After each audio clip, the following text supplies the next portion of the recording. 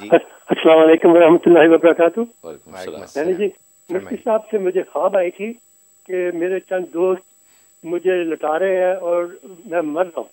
और उन्होंने कहा है कि इनका जो मुँह है वो किबले की तरफ़ कर दे।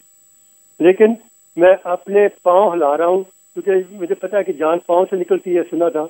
तो मेरे पाँव हिल रहे हैं। मैंने कहा यार भी तो नहीं मैं मरा। तो एकदम मेरी आँख खुल जाती है। ये ख्वाब था। जी। जी। ये माशाल्लाह।